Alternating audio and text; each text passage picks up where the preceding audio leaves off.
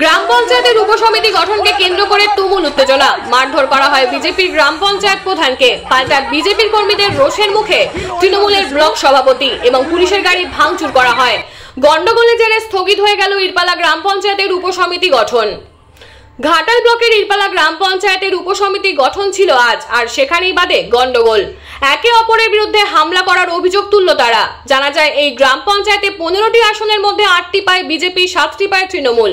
সেই মতোই গ্রাম পঞ্চায়েতে বোর্ড গঠন করে বিজেপি, আর কয়েকদিন আগে এক বিজেপি পঞ্চায়েত সদস্য যোগ দেয় তৃণমূলে।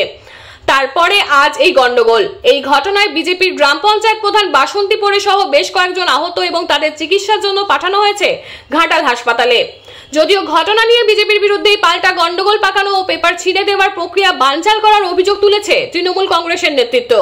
যদিও পরে পুলিশি হস্তক্ষেপে পরিস্থিতি কিছুটা স্বাভাবিক হলেও ফের দফায় দফায় পুনরায় উত্তেজনা তৈরি হয়। উত্তেজনার জেরে স্থগিত হয়ে যায় উপসমিতি গঠন প্রক্রিয়া। গ্রাম পঞ্চায়েত কার্যালয় থেকে বেরোনোর সময় বিজেপি থেকে তৃণমূলে আসা পঞ্চায়েত সদস্য রমা মণ্ডলকে ঘিরে বিজেপির কর্মী সমর্থকদের বিক্ষোভ এবং তার গাড়ি ঘিরে হামলা চালানো হয়। ক্ষোভের মুখে পড়েন সদ্য বিজেপি থেকে তৃণমূলে যোগ দেওয়া বিজেপির পঞ্চায়েত সদস্যা। অভিযোগ ওঠে, তার গাড়ির পেছনে ধাওয়া করে বিজেপির কর্মীরা, এমনকি তার গাড়ি ভাঙচুরেরও চেষ্টা করা হয়। আর এরই সাথে গ্রাম পঞ্চায়েত কার্যালয়ে উপস্থিত থাকা ঘাটাল ব্লক তৃণমূল কংগ্রেসের সভাপতি দিলীপ মাঝি বেরিয়ে এলে তাকে ঘিরে ধরে বিজেপির কর্মীরা। তৃণমূলের ব্লক সভাপতির ওপর চড়াও হয়ে মারধর, এমনকি পুলিশের গাড়িও ভাঙচুর করা হয়। এই ঘটনাকে ঘিরে তীব্র উত্তেজনা তৈরি হয় এলাকায়। পরিস্থিতি সামাল দিতে হিমশিম খেতে হয় পুলিশকে। রনিত ভট্টাচার্যের রিপোর্ট, সংবাদ পাঠে আমি সৌমিনা দত্ত, স্থানীয় সংবাদ।